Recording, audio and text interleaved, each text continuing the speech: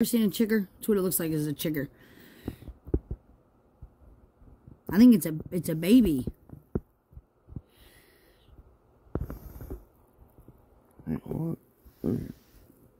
I'm trying to look at it, dude.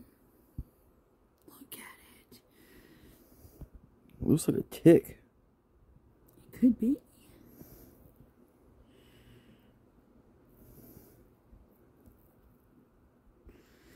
Look how tiny that thing is. Dude, that's literally like where where'd it go? Down in there. Okay.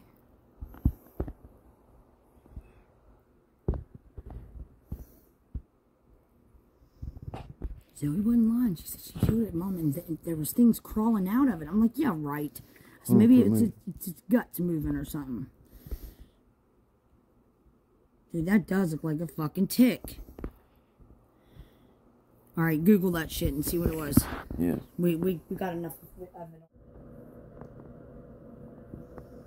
Dude, what the fuck are those, dude?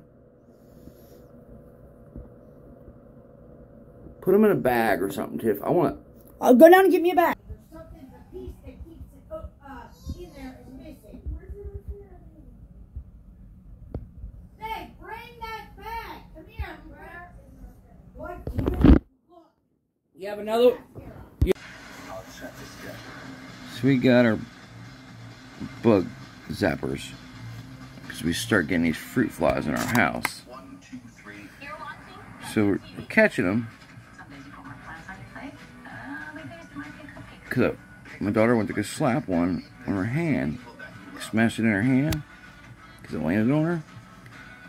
And she said these two little bugs came off. I'm like, ain't no way. She said she flung them off. Well, lo and behold, she went and got these zappers that just stun them. Look at these. Those little fruit flies have these things.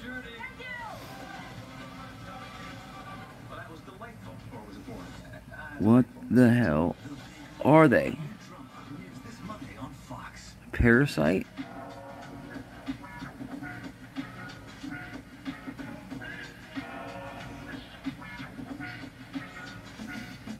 Yeah, look at it. What's it doing?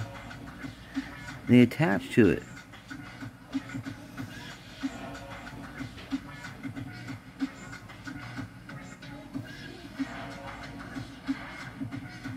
See?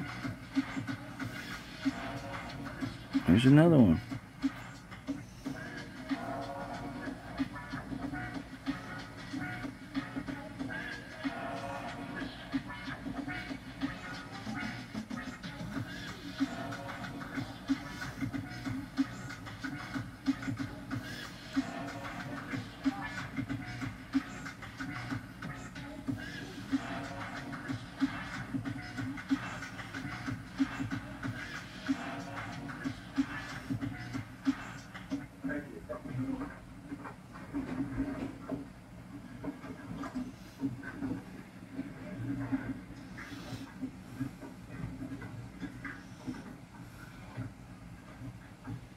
Mm-hmm.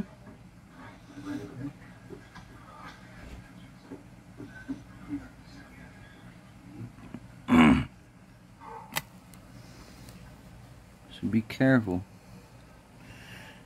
These just ain't fruit flies, man. These suckers. Some like parasite or something on them.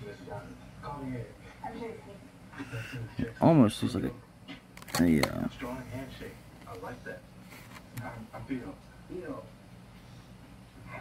I can't help but notice that you seem a bit perturbed. No, I, I, I was just expecting someone. Someone over?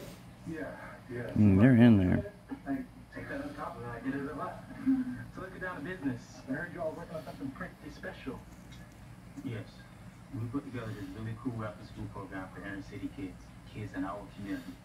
Right now, we focus on music and art, and we're in desperate need of some new instruments and supplies. We'd also like to purchase a dedicated facility so we can broaden our efforts, and that's where you come in. Point right here so far. You got five minutes. Break down the music over five year olds. Our after school program is called Clear Path. As you mentioned, we're in desperate need of new instruments in our own facility.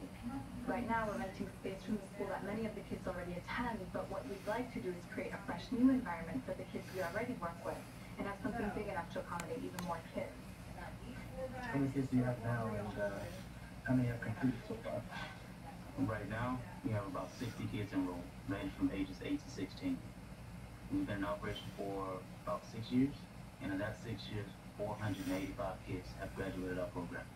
You average 80 kids a year with such a small team? Yes, and I was deployed for about a year, so the team was even smaller. And They still held it down. Impressive, to say the least. And you're a veteran, right? Yes, sir. Two years in total with one year of active duty. You're like the poster boy for everything. Great about this country. Thank you, sir. But I don't want to make this about me. This is about the kids that we serve and how we can hopefully work together to continue to serve them. Well, honestly, you had me at hello. Chris, as soon as your dad told me about this, I wanted to be a part of it. A war veteran returning home to service community. It's perfect. I do have one concern though. I don't know any of you. I don't know.